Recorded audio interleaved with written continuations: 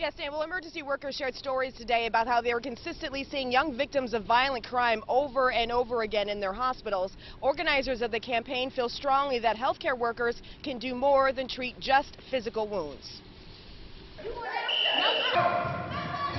The kids at the John Eager Howard Rec Center in Northwest Baltimore have a safe place to run, laugh, and yell, and to make art projects. As Health Commissioner Dr. Leana Wen explains, that is so much better than the alternative. Homicide is the leading cause of death among our residents 15 to 24 years old. Those statistics are part of what led to a new youth violence prevention campaign called Words Not Weapons.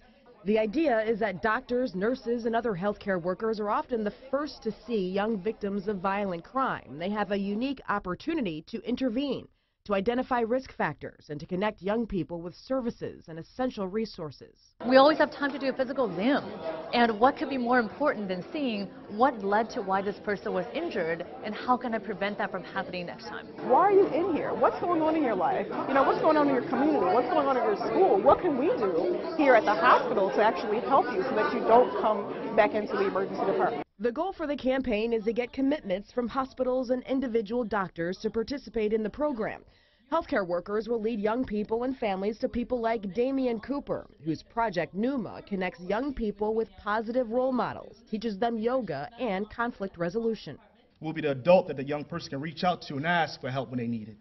We'll offer words of support and encouragement, of hope and of love and of peace, and to help them to decide not to, not to fight.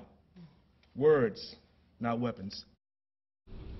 So the campaign teaches young kids the acronym for WORD, W-O-R-D. It stands for walk away, organize your thoughts, reach out for help, and decide not to fight. We're live downtown tonight. Kai Reed, WBAL TV 11 News.